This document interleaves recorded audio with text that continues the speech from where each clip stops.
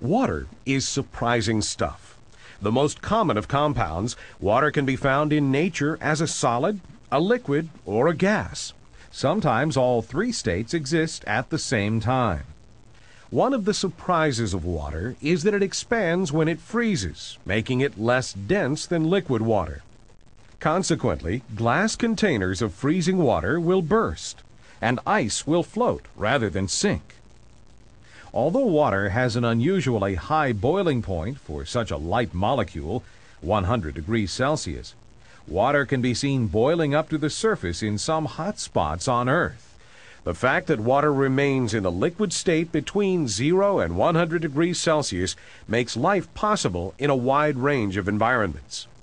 Water is probably best known for its dissolving properties.